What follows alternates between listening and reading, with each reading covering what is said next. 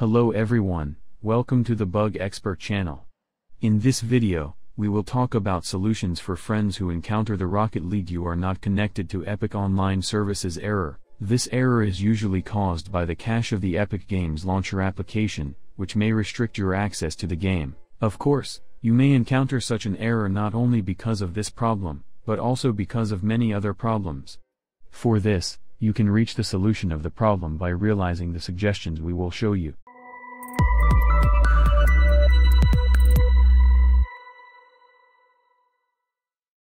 Before we show you solutions, we will briefly talk about the forum.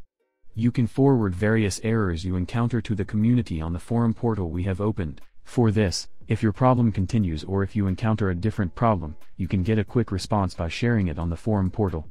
We care about your questions and suggestions. Epic Games Launcher application not working with administrator rights may cause you to encounter various errors like this. To do this, first close the Epic Games Launcher and Rocket League game. Run the Epic Games Launcher application as an administrator and check if the problem persists. The issue with the Epic Games web cache can cause us to encounter various connection errors like this. For this, we can eliminate the problem by clearing the web cache. Let's open the start search screen by typing the file location I showed in the video. Let's find the Epic Games Launcher folder in the new window that opens and open it. Then let's access the saved folder. Let's delete the WebCache folder in the folder. Before deleting, let's close the Epic Games program that is open in the background with the help of the Task Manager.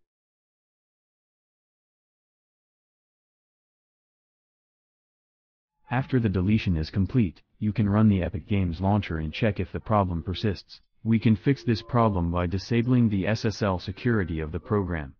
For this, type run on the start search screen and open it. Access the search box that opens by pasting the file path found in the article. After this process, open the engine file with Notepad. Then paste the line of code in the article and save it.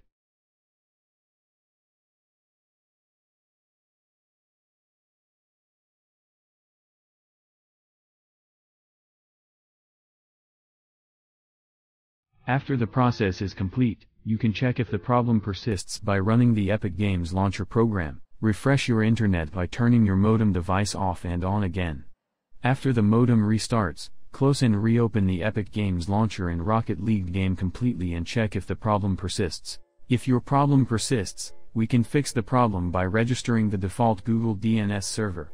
For this, Let's right-click on the Internet icon in the lower right corner and select Open Network and Internet Settings. Let's click on the Change Adapter Options option in the new window that opens. After this process, let's open the Properties menu by right-clicking on the Ethernet option. Let's apply and save the settings I showed in the video by double-clicking on the Internet Protocol version 4 option in the Features menu that opens.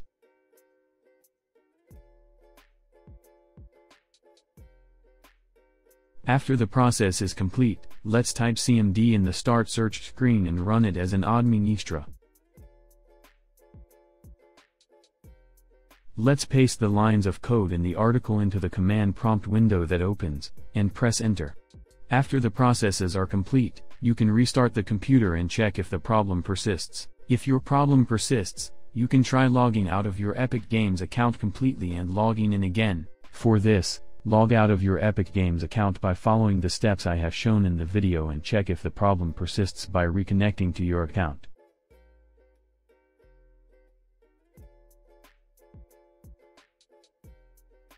Yes, in this video we have provided information on how to fix the Rocket League you are not connected to Epic Online Services error. If you are encountering various errors, you can reach the community with your questions by accessing the forum portal we have opened. By supporting us, we can expand our community. Thank you.